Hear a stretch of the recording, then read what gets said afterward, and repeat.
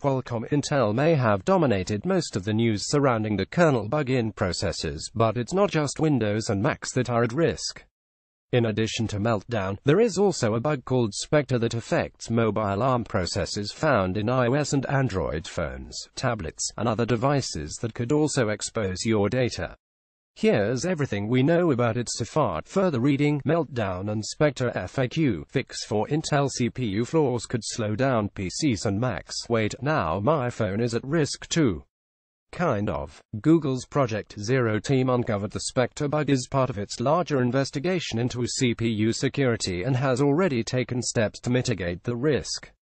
However, even if you have a phone that's vulnerable, Google notes that exploitation has been shown to be difficult and limited on the majority of Android devices. Apple has been mum on Spectre and how it affects iOS devices, but presumably the risk will be equally small.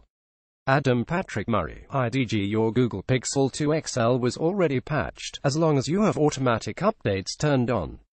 Are any phones at more risk? Pixel XL The newest Android phones are in much better shape than older ones. Google's latest security patch, which was released in December, includes mitigations reducing access to high-precision timers that limit attacks on all known variants on ARM processors. That means all Pixel phones have been patched assuming automatic updates are turned on, as well as Nexus 5X and 6P, as well as the Pixel C tablet. How can it be fixed in non-Google phones? Just like Meltdown, Spectre can only be patched via software.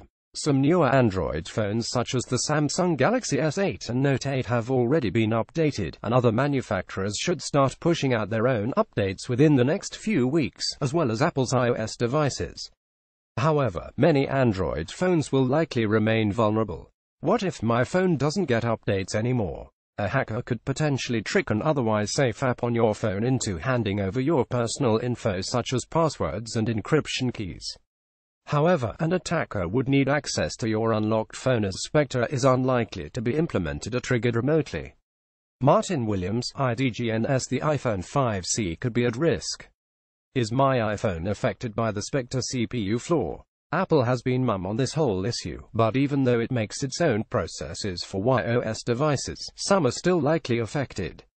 Apple bases its A series chips on ARM architecture, including some susceptible processors.